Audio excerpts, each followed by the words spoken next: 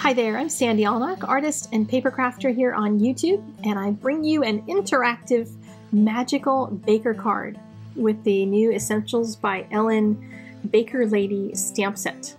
And she's got everything you need to bake something with, and she's got all these little sentiment things you can put on her apron, lots of little things you can decorate her apron with, as well as decorate other things. But I saw all the food, and I'm a sugar holic. I'm just going to fess up to that. And so I'm going to make her have a magical bowl that's going to make magical cakes and pies. So what I did was stamp my little spoons and widgets in a little pile and I'm just drawing basically a rectangle with a curved bottom on it. So it's going to be a clear glass shape because there's no container to hold all of those things, but I wanted them contained. I didn't want them just kind of laying on the counter I thought it would be easier to color them if they were gathered into a little group, so I masked them out to put them there. And I also put the bowl in her hand and the little icing thing in her hand using masking because those are not part of her stamp. So I'm just going to color her with my Copic markers using, of course, my blue violet colors to shade. Lots of people don't like that type of shading. You'd rather use brown colors. By all means, use what works for you. This is just what I like because the purples give skin tones a little more of a realistic look to them. If you have studied your science in school, you'll know that, that blood is right underneath the surface of your skin and it's not going to give you the skin color. It's like you see the veins almost through the skin and that's what the purple does. It, it gives it that more natural look. So I'm going to give her dark hair. I don't usually do dark hair, so I thought some dark hair for her would be nice. And when I do dark hair, I start with a middle gray, which was that number six. And I'm going to go in with some light flicks of the 100, which is the black. It is the same, by the way, as the 110, so you don't need both if you ever want to know about that. They are the same marker as far as I can tell. Uh, I've tried lots of tests running them side by side and I cannot figure out the difference. But I'm coloring mostly the black down below and then letting some strips of color, some little light flicks, go across the top of her hair. So soften up a little bit again with that C8 if there's any areas that looked too harsh, just so they kind of blend in a little bit. And then I'll start on her apron. I decided I wanted to use some colors that I could use this card anytime for. Didn't have to necessarily use it at Christmas. It would be great for a Christmas card. Um, in doing like pies and cakes and baking things. Uh, would be great in fall colors, but this particular card can be used at any time of year because she's just going to have uh, pinks and greens. But this kind of card, this specific card with pinks and greens can be used at Christmas because pink and green make great Christmas colors. So I thought that would give my card a little more shelf life sitting in my box waiting to be mailed out because I have a, a huge stash that's growing and I really need to do a day or two of sitting down and writing out cards. I do send cards on a regular basis to my patrons. Everybody gets a couple of cards a year, or I, I try. And then I also, as I, I can, I pick random customers who have purchased classes or hex charts or whatever, and just randomly send a surprise card in the mail or a surprise pack of goodies, that kind of thing, whatever I end up sending out. So I have a huge stack of cards that are weighing me down and desperately I need to get around to sending out cards. So I've drawn little flowers on her apron just by using shapes. Just some blobs of pink and blobs of green. And literally you can see I did not sweat over them. I just made blobs and then little flicks of green for the leaves. So you could knock your socks off by trying to draw an intricate pattern, or you could just make a suggestion. Because this card is going to be all about the interaction. And once I get it done, the person is going to be so busy making the cakes and pies pop out of the bowl that they're not going to care about whether or not I've done the detail work on the apron or not. You may be hearing little squeaks outside. My dogs are wrestling out in the backyard at the moment. So now I'm going to get on to coloring some of the other objects in here, putting a little bit of the color through the glass so it looks like some of the light brown will come through the glass. When you're doing glass, you don't often see the full color, you see a, a lighter strength of color come through it. And so same with each of the handles. I'll have a little bit more of the color when the spoon is outside of the glass rather than when it's inside the glass.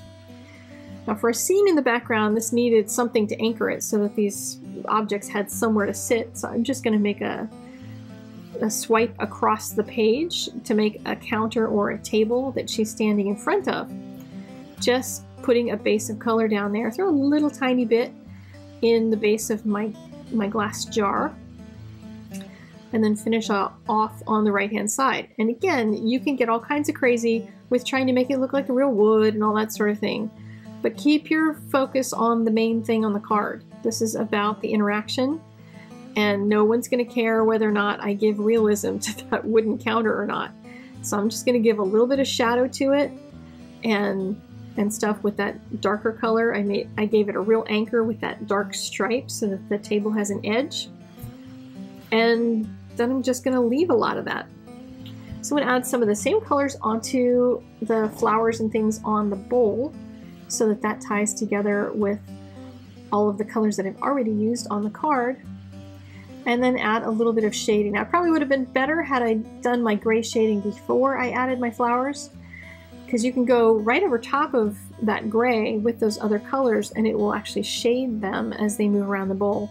But again, this the, the bowl is not the main thing, so I'm just trying to give it a little bit of, of depth. Now on a separate piece of cardstock, I've stamped the cakes and pies. I did two of one cake and two of the pies, alternating them, and I made them kind of kitty wampus because who's going to stack pies and cakes and get them flat? Because that's the way it would roll, I guess, if you had a stack of magical pies and cakes. And I'm going to do both of the cakes chocolate because that is my favorite. I'll do one dark chocolate and one regular lighter chocolate. And one's going to have pink frosting, one will have green frosting because that again will tie together with all the colors that are on the rest of the card. And I'll use the same brown to, to start off by coloring the chocolate cakes on me. An E35 is a good, not light brown, not a dark brown, uh, E37 is a little on the darker side. If you're trying to do kind of a German chocolate cake, that would be too dark.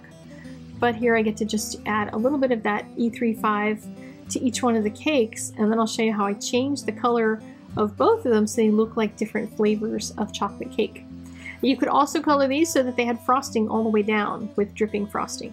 Ooh, you know what? If you're still watching this video and it's Halloween time, you could make them dripping with all sorts of interesting Halloweeny things too. That would be kind of fun. For the crusts on the pies, I'm going to use an E31, which is a much lighter brown. It's more of a, a color that's going to work well for pie crust. And I'm going to go in with an E59. It's a really dark, dark, dark brown. And put some shading underneath of the frosting because it's going to make the frosting look like it pops and I'm going to add a little shading around the left and the right hand side of the cake. And on this one, I'm going to do the same, but I'm going to add less of both of them. Not as much. Just a little around each side. Now for this one, I'm going to take that E37, which I said was a little on the darker brown side, and I'm just going to color over top of everything. It's going to blend in that dark brown, so it looks like a nice rich dark cake. And this one now, I'm going to add all the shadow underneath of the frosting the same way as I did at the top and a little bit more to the left and right so I end up with a lighter color and then go back in with the E35. And there's just a little difference so they don't look like they're both really rich dark brown cakes. And you can adjust all the colors as much as you want, but just know that you can use different amounts of each color in order to add a little bit of difference to them. So I'm just going to smooth out a little bit of my pie crust and then add just a slight bit of shading to the pie tins. And you could make them, of course, any, any color pie tins. Mine will be sterling silver pie tins or aluminum, I guess, pie tins.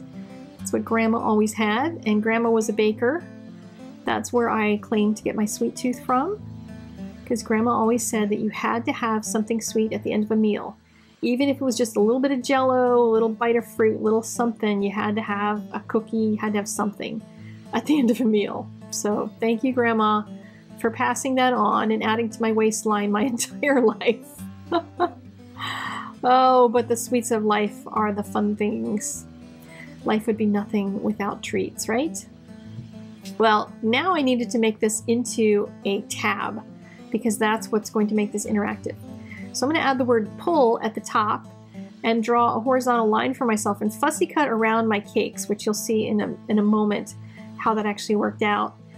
And I'm going to cut a slit in the card using my fingertip knife, a slit right across it, so that this tab then is going to come out of there and stop when it hits that horizontal bar. So horizontal is going to keep it from pulling all the way out. Now there is a little adjustment to this, you kind of have to wiggle it around a little bit, but once I adhered it all the way down, it's a very flat card. So I put adhesive all the way around the outside edges using some Be Creative tape because that holds things best when you're talking interactive cards. And then I can just pull this out. I, you know, a little, little jiggling needs to happen, but you know, you got to work for magic. But you can see where it stops because of that horizontal bar. And then I have it tucked in so that it will hide right down in there and be something that someone can pull out the little magical cakes from. Isn't that fun? I like making interactive cards, especially that don't get really thick and then they don't cost a lot in postage as well. So please go over to my blog and join in the little mini blog hop today to see some more of the new Essentials by Ellen release. You can also check out some classes and other things. Make sure you subscribe if you haven't yet already, and I will see you guys next time. Take care.